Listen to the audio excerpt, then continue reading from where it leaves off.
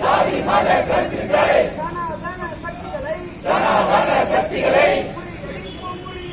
முறியடிப்போம் முறியடிப்போம் பாதுகாப்போம். பாதுகாப்போம் பொது துறைகளை பாதுகாப்போம் அனுமதியோ அனுமதியோ இந்தியாவின் பலன்களை